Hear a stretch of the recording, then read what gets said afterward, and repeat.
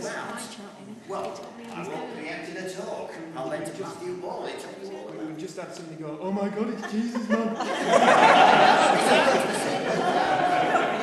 That's quite impressive when you brought up the guys. No, I'll just shout. If you can't hear me, just do that and speak a bit louder. Are you ready? Yes.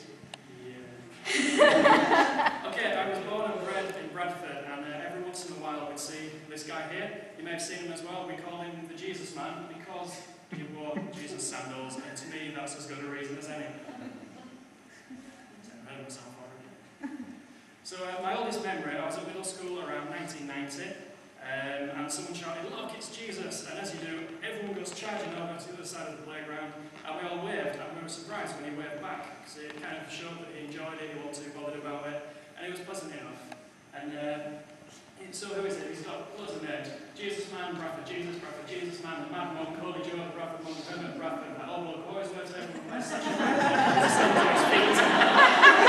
I may have made that one myself. So uh, here he is, uh, carrying the Olympic torch. I think it may have been photoshopped. As it turns out, he's not actually Jesus. Uh, his real name is Jeffrey Brindley, and uh, he's 84. He walks all over Bradford in uh, Monk's Road, waving at people, generally being kind of polite.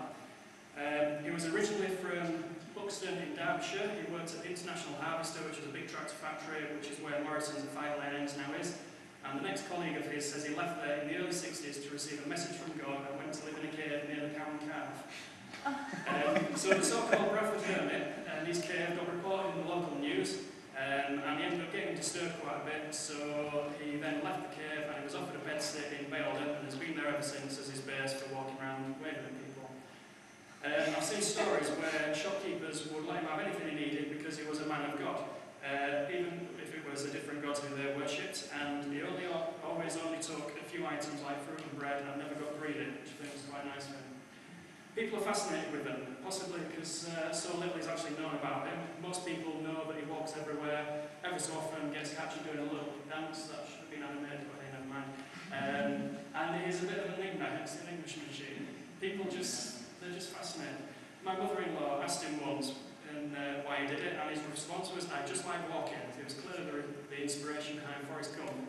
So, I don't know why he walks around, but why did I make this website I do? Well, October 2010, I saw him for the first time in a while, and it got me thinking. I've not seen him for years. I wondered when he was last seen. I knew from my own life he was predominantly seen around Bradford, but quite a bit of internet searching claimed that he was seen as far away as Manchester and Sheffield. But there was, however, no real way of knowing. I knew I'd seen him around Bradford, uh, and I found a few Facebook dedicated to reporting their but I like maps. Or I like pictures, which are kind of like maps, uh, so it's all good. Now, any PowerPoint presentation is nothing that random by chat. this is Yorkshire, this is PowerPoint chat. I'm supposed into doing this one. Um, so when I made the site, well, to be honest, actual paid work was pretty quiet, and uh, I had nothing better to do. So in November last year, I officially launched the website. Uh, sites like Twitter and Facebook have played a massive part in getting visitors to the site, and most importantly, getting people to uh, submit on a map where they've seen it. Numbers have grown, so spamming, uh, spamming social media sites definitely helps if uh, you ever want to do that. Uh, what it does, the site's an easy way for people to share where they've seen Mr. Brindley. Uh, I'm scared of conflict, I didn't want to upset many Facebook groups, so I get around this by saying it's an add-on to the already existing groups, albeit groups that don't have. Some people told me I shouldn't do the site because it's like stalking him, yet the same people can uh, join the groups on Facebook about where they've seen him. This is what I call a hypocrite. Picture of an actual hypocrite. Uh, the thing is, we don't actually track him live. That would be wrong, possibly a little bit illegal. it would be cool actually to have a GPS tracker on him. Uh, with permission, obviously I'm not mental, unlike uh, this next guy. It says, what is your method for achieving immortality? My response, I'm not actually a Jesus man. I thought I made that quite clear. Mental isn't his real name, it is actually on the room. So, uh, about, can I speak to the man himself about religious topics? I mean, Bradford Jesus man. P.S. This is no stalking, many greetings, and peace to you. Not stalking, I was a bit, a bit, on edge of this, but I was like, well, it may be. And uh, his final reply, he said, I, well, I said, I have no idea how come him, you should you to sit on the street and get his attention. His response, can you pass on a message and get back to me? no.